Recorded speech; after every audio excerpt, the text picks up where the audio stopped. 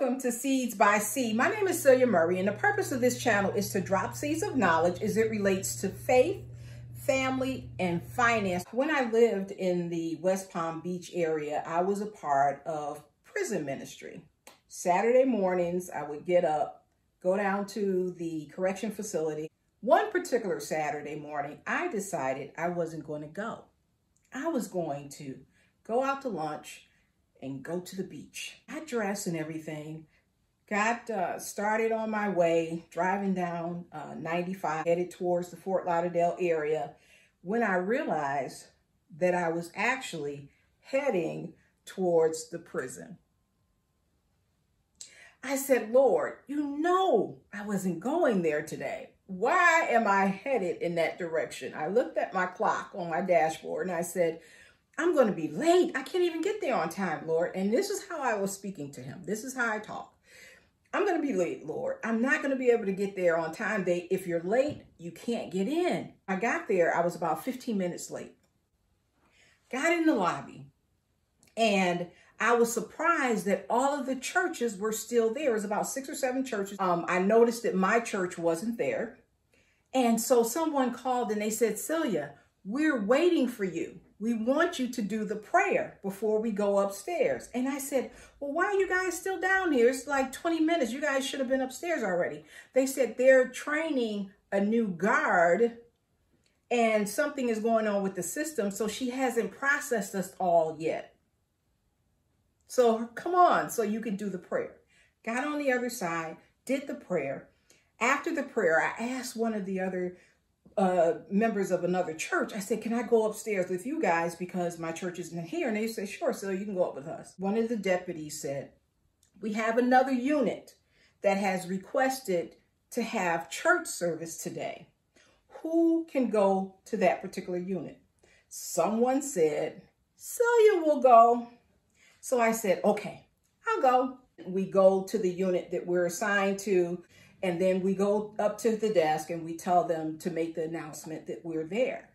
And I did that, and the guard said, Well, I don't think that anyone is going to come to service today because today is haircut day. I said, Well, someone requested it, so I know I'm going to have at least one person. You're in the general population, uh, there's individuals in their rooms, um, there's individuals that are watching television, there's a common area where we set up our table um, where we have service. This particular day, I asked the um, guard whether I could go into one of the private rooms. And he said, yeah. So I went into the private room. Um, it has a glass door. Um, there's a table and there are stacks of chairs. I took 10 chairs down, placed the chairs in a circle, sat in one of the chairs, and I began to pray. I said, Lord, you ordered my steps here today. There's someone that needs to hear from you. What is it that you will have me to say? Lord, bring the people. I continued to pray with my eyes closed. I began to sing. And as I began to sing, then I heard a knock on the glass. I opened my eyes and there were ladies standing there smiling at me with their Bibles, waiting for the guard to buzz them in. When they, when they came in, we had to take down extra chairs. I shared with the ladies, it was not in my plan to come there that day. I told them I was going to the beach. And since the Lord ordered my steps there, since someone prayed me there, that I know that God had a word for them.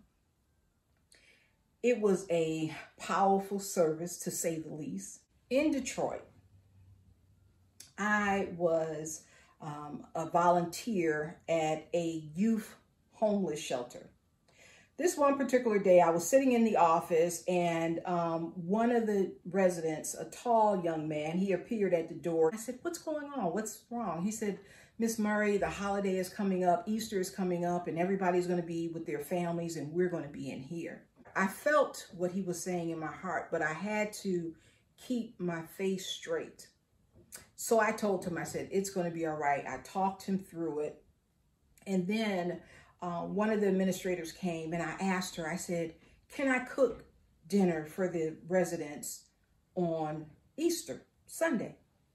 So she said, let me check. Next day when I came, um, I knew that she would have an answer. To her office and I said, did you ask whether I can cook dinner for the youth? And she said, yeah, they approved it. Every time I would come, we would gather. Um, I would talk about scriptures and things of that nature. I told them, I said, guess what? I said, I'm going to cook dinner for you for Resurrection Sunday, for Easter. They said, are you? And they said, what are you going to cook? I said, a turkey and dressing. Macaroni and cheese. They said, macaroni and cheese. I said, yeah. I said, we're going to have candied yam. Candied yams. Every time I named an item, they were getting more and more excited. So I kept throwing in items. I actually didn't know what I was going to cook, but I kept adding stuff as they were getting excited. So they were like, well, you coming early? What time are you going to come? And I said, well, no, I'm not coming early because I got to do Meals on Wheels before I come. They were so excited. When I was walking to my car, I realized for the first time that I didn't have any money to make this thing happen. I'm like, oh my God, I didn't, I never thought that I didn't have the money to do it. I never thought about it. And I'm like, what am I going to do? I sat in my car in the parking lot of the homeless shelter and I said, Lord, I need you to show me how this is going to happen. He brought to my remembrance, my sister Jarita always has turkeys. I called her, still sitting there. Jarita, do you have any turkeys? She said, well, I don't have a turkey right now. I said, well, can you get a turkey? She said, well, what size turkey? I said, the biggest turkey you can get, get that. So she says, okay. Thought of Mom Campbell. And um, I called her. I said, do you have that block of cheese that you normally keep in your freezer? She said, yeah, I have a block of cheese. I was just looking at it. Need some cinnamon. I need some nutmeg. Do you have any extra sugar? Do you have any, a block of butter? So I'm adding, uh, she said, okay, wait a minute. Let me write all this stuff down. She said, okay, I got everything that you need. I called my friend who eats string beans out of the can, Erica. I said, Erica, do you have any string beans? She said, so you know I got string beans. I said, well, do you have about 20 cans of string beans? She said, no, I don't have 20 cans of string beans. I said, well, can you get 20 cans of string beans? She said, yes. I said, well, what about elbow noodles? Do you have any of those? She said, no. I, she said, but I can get them. I said, do you have any canned milk? She said, no, but I can get that too. How many do you need? So I told her. So I was excited. I drove home. The next morning when I went to work, the receptionist who was there on a temporary basis, I greeted her as soon as I walked in the building and she was like, Sonny, what's going on? You're so excited. And I told her what was happening. She was like, well, I'm a professional caterer. I can cook everything for you. And I said, but you don't know where I live. I live a long way. She said, I don't care where you live. I'll come over to your house and I'll prepare all of the food. And I said, okay. Went up the stairs to my office. The word spread across the building about what I was doing. We had a store downstairs. Um, people were bringing up aluminum pans, aluminum foil. Some people were giving me money. Thing was happening so quickly. And I got to the point where I said, I don't need any more money. I got a call from the lobby. They said, Celia, there's a lady that's down here that wants to, to meet with you. And I said, I don't have any clients scheduled for today. It sent her up. She came up, we talked, and she said, well, why do you have all this stuff here? And I told her. And I said, after I leave work today, I'm going to go down the street to Eastern Market and get some yams. Um, and she said, ma'am, I just bought a, a case of yams and they're in my car. And you can come down and get as many as you want. Yeah. My grandson had a project at school where he had to do something to help others. He made candy bags for each one of the residents. He made 50 candy bags. When I went to go pick up the the string beans and the elbow noodles and the milk, she said, she looked at me while I was standing in the doorway and she said, Silly, the Lord is telling me to give you $50. She handed me $50 and the items. And I said, I don't know why he's telling you to give me $50. And then it hit me.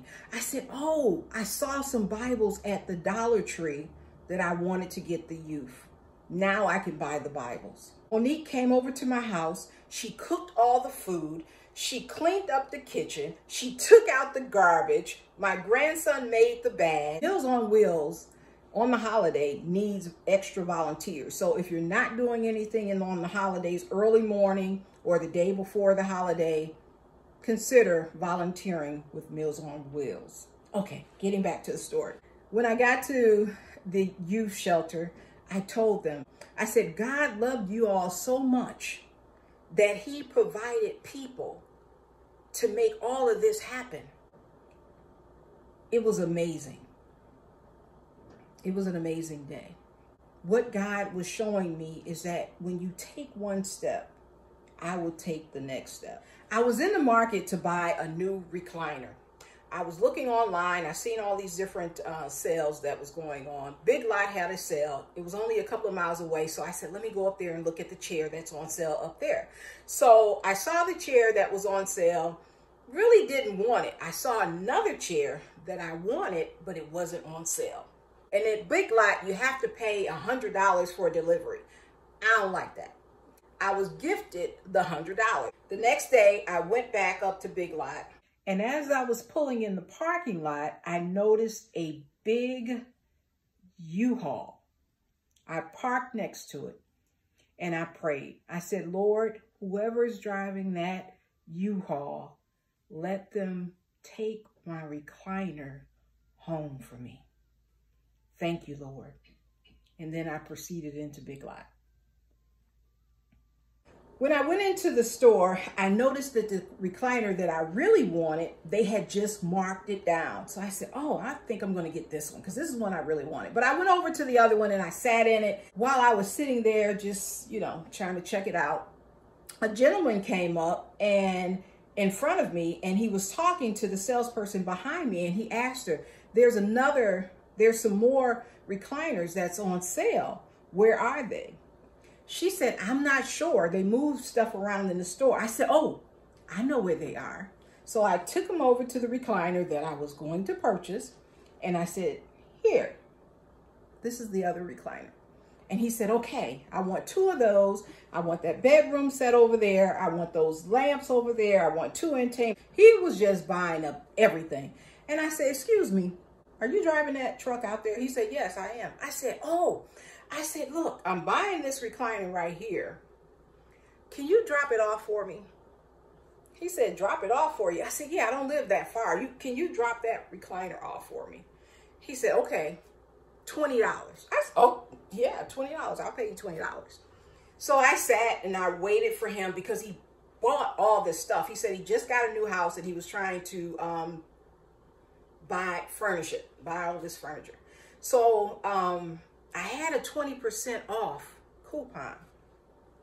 I went up to the sales lady and I asked her, can I use my coupon for his purchase? It would save him at least $600 and it would have only saved me, you know, less than $100. So she said, yeah, you can use, uh, he can use your coupon. And I said, okay. And then she told him she's going to use her coupon on your purchase. He said, thank you so much when we surrender to Christ, when we allow him to be the head of our lives, when we rise early to pray, when we meditate on the word, the Lord will order our steps.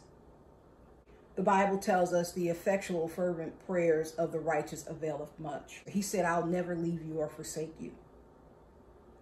If you're not a believer, if you're a backslider, I truly encourage you to get into a Bible believing, Bible teaching church.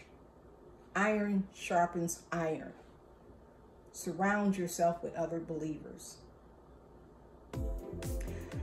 That is it for now. Be encouraged no matter what it looks like. Be encouraged. God bless you. God keep you is my prayer and I'll see you soon.